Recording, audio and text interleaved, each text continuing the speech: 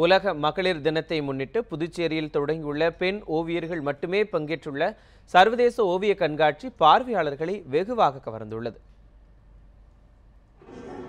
புதுச்சேரி அருகே உள்ள ஆரோவிலில் Pondicherry art academy சார்பில் இருபத்தோரு பெண் ஓவியர்கள் பங்கேற்றுள்ள ஓவிய கண்காட்சி நேற்று தொடங்கியது.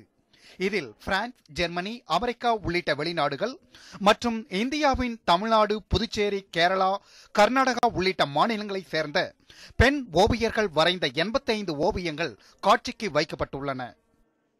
ஆண்களால வந்து ஈஸியா வந்து கோவத்தையும் மகிழ்ச்சியும் மகிழ்ச்சியையும் காமிச்சிட முடியும். ரொம்ப ஈஸியா அவங்க காமிப்பாங்க. ஆனா பெண்கள் வந்து எப்பவுமே கொஞ்சம் அந்த மாதிரி காமிக்க முடியாத சூழ்நிலை இருக்கும். அதனால வந்து நாங்க எங்களோட பேஷன்லயும் கெரியர்லயும் தான் அதை காமிப்போம். ஸோ நாங்க ஆர்டிஸ்டா அதை வந்து கேன்வாஸ்ல காமிக்கிறோம். எங்களோட பெயிண்டிங்ஸ்ல அதை காமிக்கிறோம்.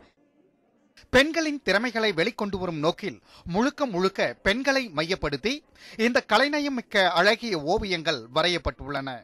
இந்த கண்காட்சியை உள்ளூர் வாசிகள் மட்டுமின்றி புதுச்சேரிக்கு வருகை தரும் வெளிநாட்டு சுற்றுலா பயணிகளும் ஆர்வத்துடன் கண்டு ரசிக்கின்றனர்.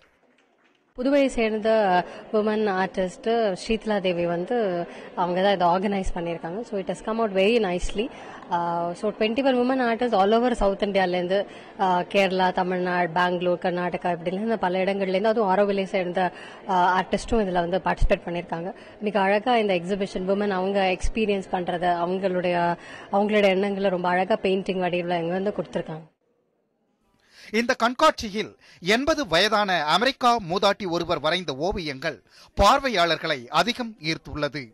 இது சாதிப்பதற்கும் திறமைகளை வெளிப்படுத்துவதற்கும் வயது ஒரு தடையில்லை என்பதை நிரூபிப்பதாக உள்ளதாக பார்வையாளர்கள் பெருமிதம் தெரிவிக்கின்றனர். ஆரோவில் உள்ள பாரத நிவாசில் வரும் மார்ச் முப்பதாம் தேதி வரை இந்த கண்காட்சி நடைபெறவுள்ளது. ஒளிப்பதிவாளர் நடராஜுடன் ராஜு புதுச்சேரி.